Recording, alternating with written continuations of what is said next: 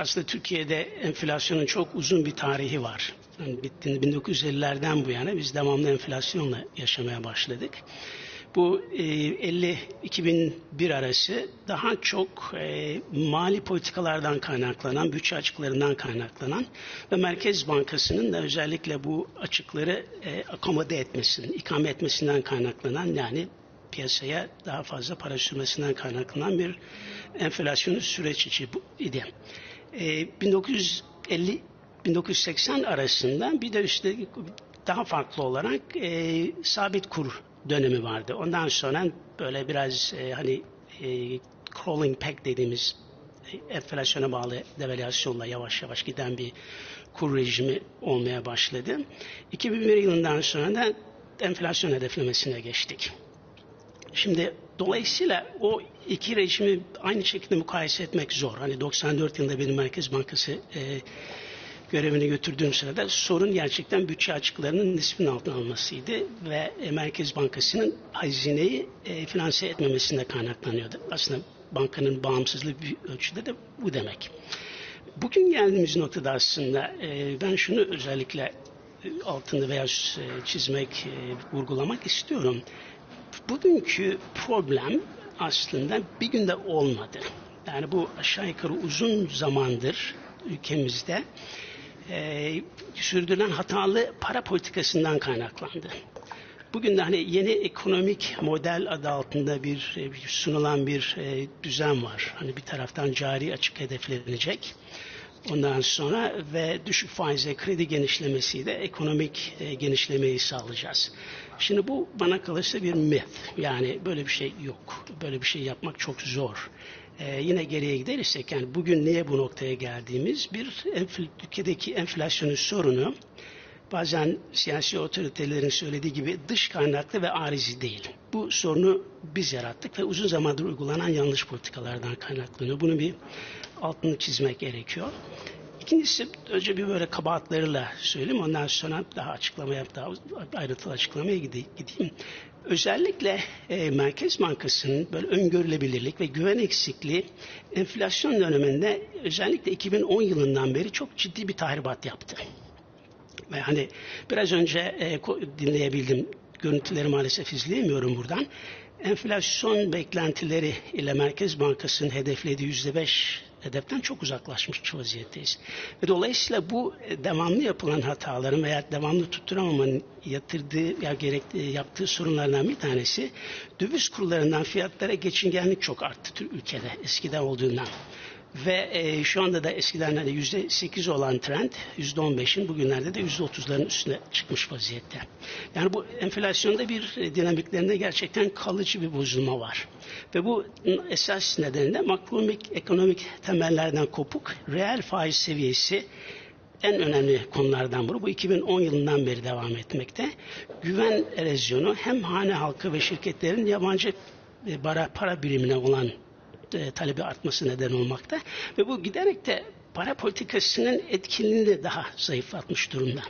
Yani biz şu anda geldiğimiz nokta kendi yarattığımız bir sorunla karşı karşıyayız. 2011 yılında da aynı e, 2010 pardon 2010 yılının özelliği 2001 yılından itibaren enflasyon hedeflemesine başladığımız zaman başarılı olan bir enflasyon veyahut enflasyonu indirmede çok ciddi başarılar elde edilmişti yüzde e, neredeyse yüzde yüzlerden aşağıya doğru inmeye başladı. Daha sonra tabii enflasyonu yüzde yüzden sekize indirmek kolay fakat yüzde sekizden ikilere aşağıya indirmek daha da zor.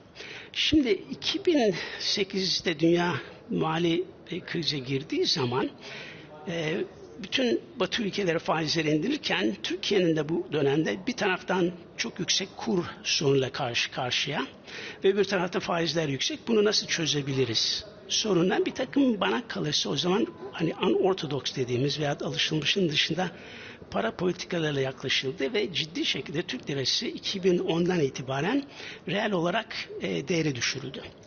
Bunun yarattığı sorun da tabii ister istemez bir enflasyon sorunuyla karşı karşıya geldik. Şu anda bizim e, gördüğüm e, kredibilitesi kaybolmuş bir merkez bankası ve para, para, para, para politikası e, olmayan bir e, yapıdayız.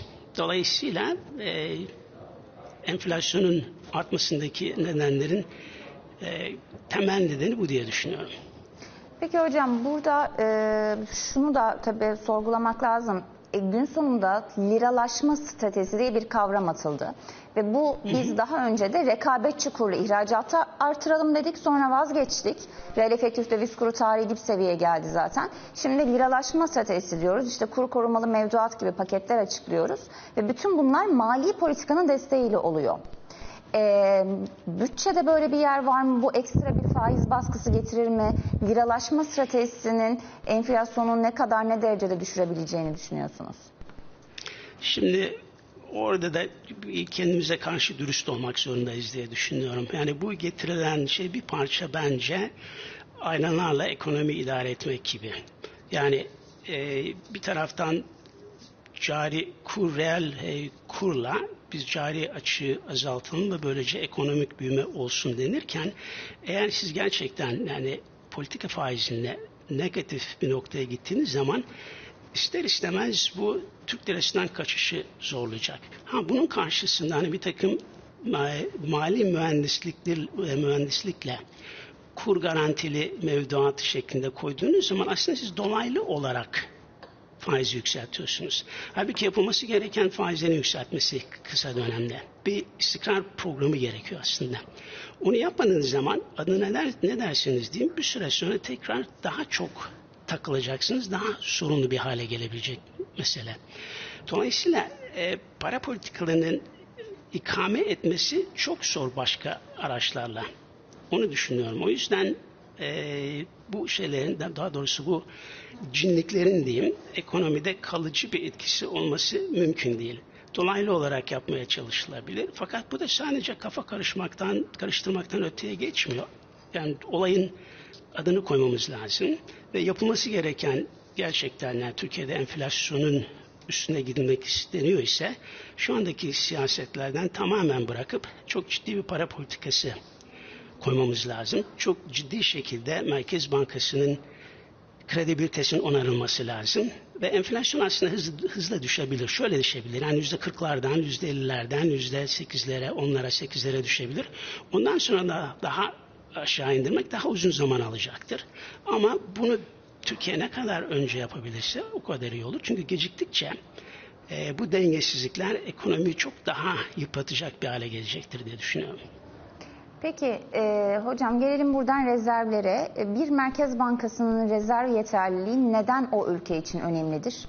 E, rezervlerle kuru kontrol etmeye çalışmak mümkün mü? İşte biz tekrar satım ihalelerine başladık bir yandan. Öte yandan işte Merkez Bankası'nın kar artışı geçtiğimiz yılın sonunda e, ve bu kar artışının da e, hazineye devredilecek olması ki bugün e, genel kurul olacak galiba Merkez Bankası ve hazine arasında onu da hatırlatalım.